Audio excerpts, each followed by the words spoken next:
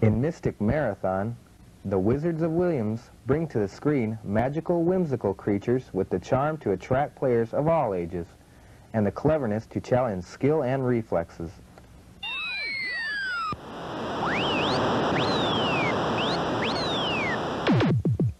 The scanner displays runner position and island configuration as the player controls the joystick and jump button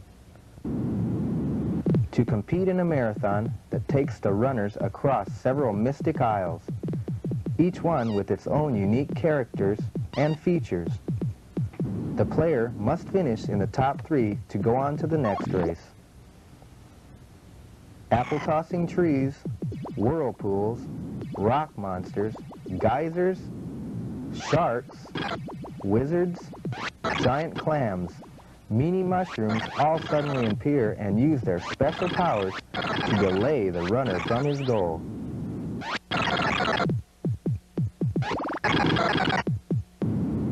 If the player can collect the crystals, pearls, and golden mushrooms for bonus points, and wisely use such things such as the helping hands, caves, and holes that offer shortcuts, bridges, birds, and balloons that fly the player above the hazards, he can make good time in his race. A game that's fun and challenging for the entire family. From Williams.